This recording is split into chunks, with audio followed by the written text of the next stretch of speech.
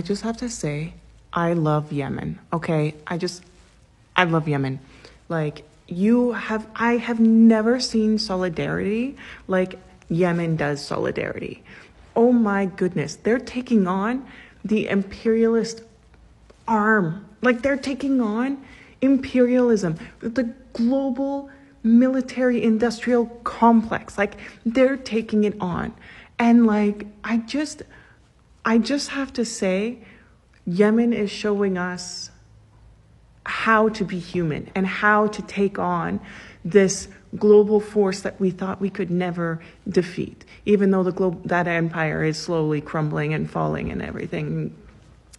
But like it's just amazing to see the solidarity of the Yemeni people and just they like oh my goodness anyways I fully support the Yemeni people. You guys are amazing. You all are amazing. Wow. Thank you for showing us how we should be eh, getting involved in direct action to stop a literal genocide. Anyways as always free Palestine. Yemen is my Roman Empire. I'm going to be honest with you. Yemen as a country is my Roman Empire. That is my Roman Empire.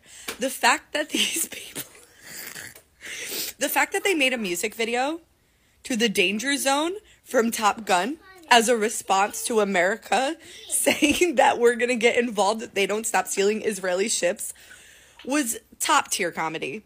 And then and then I just watched the video. They they had a wedding ceremony on one of the Israeli ships that they confiscated. They had a wedding ceremony on it and not only that, they had a drone present up in the air videotaping it so you would know that it was an Israeli ship that this wedding was happening on. Yemen is my Roman Empire.